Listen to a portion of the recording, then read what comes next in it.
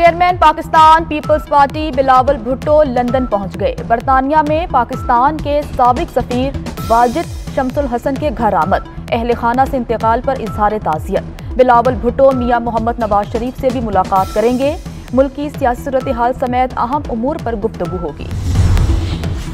मरियम नवाज़ ने पाकिस्तान तहरीक इंसाफ हुकूमत का एक और स्कैंडल सामने लाने का इशारा दे दिया। ट्वीट किया कि अरबों रुपए के स्कैंडल भी सामने आएँगे। सिर्फ़ रिश्वत में छह अरब रुपए कमाए गए। सब खुलेगा और बहुत जल्द। और मेडिकल के तलबा के लिए बड़ी खबर आ गई। इस साल मेडिकल कॉलेजेस में दाखिले के लिए एंट्री टेस्ट सूबे लेंगे। पाकिस्तान मेडिकल कमीशन ने एमडी कैट का कंप्यूटराइज्ड इम्तिहान कराने का ठेका मनसूख कर दिया।